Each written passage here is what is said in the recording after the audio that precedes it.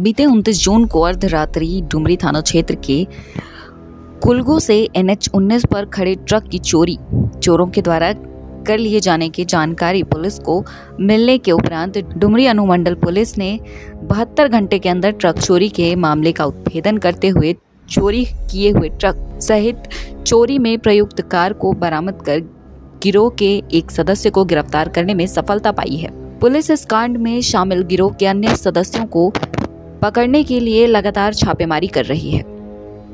इस संबंध में मंगलवार को डुमरी थाना में एक प्रेस वार्ता कर डुमरी एसडीपीओ सुमित प्रसाद ने जानकारी दी। उन्होंने बताया कि मामले की गंभीरता को देखते हुए एसपी ने मेरे नेतृत्व में एक विशेष अनुसंधान टीम का गठन किया था, जिसमें डुमरी पुलिस इंस्पेक्टर मनोज कुमार, डुमरी थाना प्रभारी प्रेनन निमिया घाट, थाना प्रभारी राणा जंग बहादुर पुअनी सुमन कुमार और रूपेश कुमार शामिल थे। बताया कि गठन होने के बाद टीम इस मामले के उद्भेदन में जुट गई। इसी दौरान पुलिस को चोरी में प्रयुक्त B R two B Q four six six zero number की सफ़ेद रंग की रेनॉल्ट ट्राइबर कार के संबंध में जीटी रोड पर लगे सीसीटीवी कैमरे की फुटेज से मिले सुराग सहित अन्य साक्ष्यों के आधार पर टीम कार के मालिक सह अपराधी बिहार स्थित जहानाबाद के कड़ौना थाना के गड़ियापुर निवासी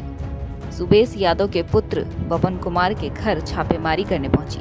जहाँ से पुलिस ने बबन कुमार को हिरासत में लेते हुए उसके पास से कार को बरामद किया। फिर बबन की निशानदेही पर पुलिस ने जहानाबाद के एक स्थान पर चोरी किए गए ट्रक को बरामद किया। किस चीज़ को लेकर आज प्रेस कॉन्फ्रेंस की गई है? आ, डुमरी थाना अंतर्गत कुलगो टोल प्लाजा के पास से एक उनतीस तारीख को गाड़ी की चोरी हुई थी और उस चोरी के क्रम में जो पुलिस अधीक्षक गिरिडीह है उनके द्वारा एक टीम गठित करके इसको त्वरित अनुसंधान करने के लिए टीम बनाया गया था। और चूँकि ये जीटी रोड का मामला था तो इसमें जो है कि त्वरित अनुसंधान के लिए टीम जो है वो तुरंत सारे टेक्निकल डिटेल्स को ले करके और अनुसंधान के लिए प्रस्थान की और प्रस्थान के क्रम में जिस गाड़ी से रेकी की गई थी, उस गाड़ी की चोरी कर रहे थे, उस गाड़ी को और जो चोरी की गई गाड़ी थी, उसको भी बरामद करके लाया गया है। उसमें अभी एक जो व्यक्ति है, इसको पकड़ा गया है, बबन कुमार नाम है ये जहानाबाद बिहार के रहने वाले हैं। इनके अलावा और कुछ लोगों हैं की गिरफ्तारी के लिए छापामारी अभी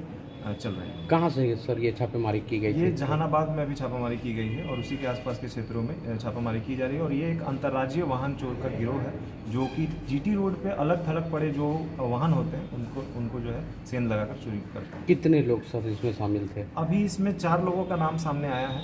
एक की गिरफ्तारी हो गई है तीन के लिए छापामारी जारी है और जो भी इसमें संलिप्त होंगे सभी को गिरफ़्तार किया जाएगा। कुछ लोकल लोग भी हैं सर नाम में अभी तक इसमें लोकल का कोई सामने नहीं आया है। इसमें मुख्यतः ये अलग थलग जो वाहन जीटी रोड में बेतरतीब ढंग से पार्किंग की जाती है उसको जो है ये निशाना बनाकर चोरी करते हैं। तीनों एक ही जगह के हैं सर जो तीनों अन्य हैं?